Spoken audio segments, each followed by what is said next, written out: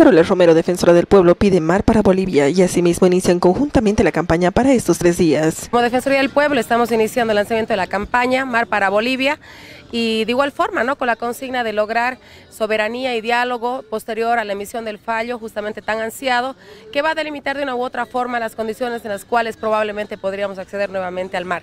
En tal sentido es que eh, con ese civismo justamente y con ese sentimiento es que exhortamos a la población a sumarse a la campaña justamente de difusión de tres días de fuerte eh, difusión de esta consigna, de modo que se pueda en todo caso eh, como bolivianos consagrar lo que vendría a ser ese sentimiento común. De igual forma, ¿no? es una consigna institucional, como ciudadanos de igual forma y que evidentemente de manera muy, voluntaria pueden sumarse si es que así lo desean, porque evidentemente la causa marítima nos une.